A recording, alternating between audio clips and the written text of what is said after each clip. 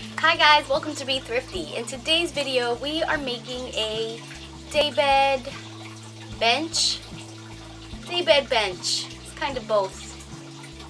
And I got it off Facebook Market for only $20. It's actually a couch, which I'm going to turn into a daybed. So stay with me and let's see how it turns out. This is what the couch looked like when I first got it. Uh, it's no longer with me because I took it apart and I, I'm only using the pieces that I need and those are just the cushions. Uh, this this couch was actually very heavy for me. The frame was extremely heavy and I couldn't really move it around by myself. So I decided to get rid of it and just keep the cushions and that's what I'm going to use to make my day bed. So what I'm doing here is I'm measuring three inches from each side of the MDF board to be able to center my legs. And because I want them to be at even distance to be able to support the weight. So this is what I'm doing. And I hope you can see what I'm doing because I don't know if I'm making any sense but it'll work. Okay guys so I am done adding my legs. I added two in the center for extra support and now it's time to add the cushion.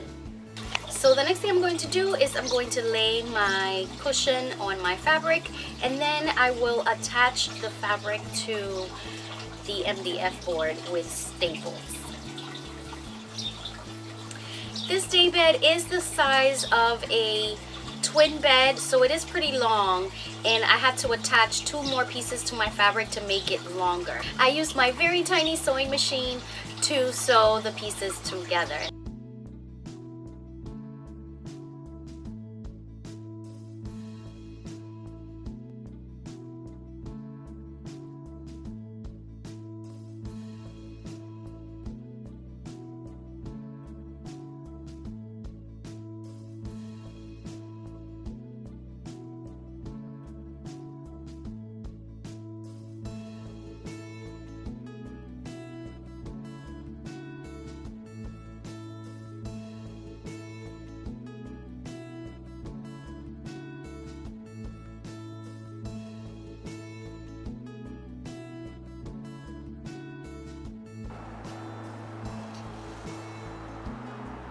Okay guys, so this is the finished look of my day bed. I finished decorating it. I think it looks pretty good. Tell me what you think down below in the comments. The rug here is from Five Below. I got it for just $5. I also got the throw from Five Below, and that was also just $5, which was quite a bargain, I think. The rug is pretty large for five bucks and I love the pattern I love the colors and I think it goes great with the day bed. Um, I think it turned out really really nice.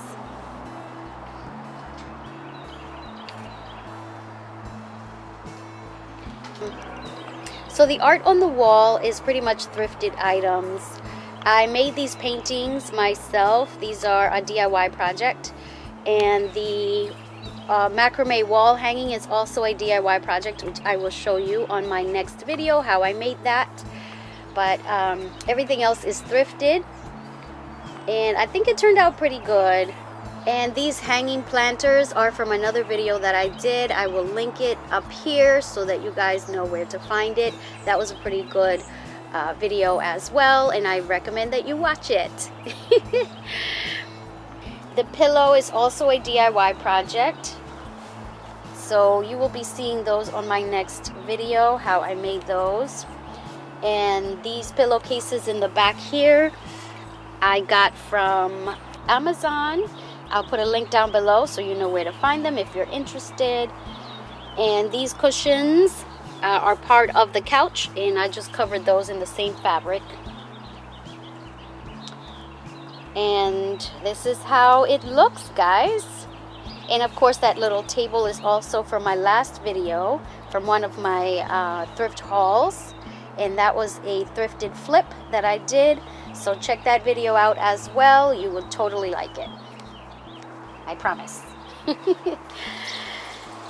Okay so thank you guys for joining me. I hope you enjoyed this video. I think my bench slash daybed. Turned out really great. And uh, if you like this video, please give it a thumbs up. And please remember to subscribe and I will see you next time. Let's keep being thrifty together. So what I'm doing here is I'm drilling a pilot hole so that my screw doesn't split my wood when I put it in. Oh God, that sounds nasty. Um.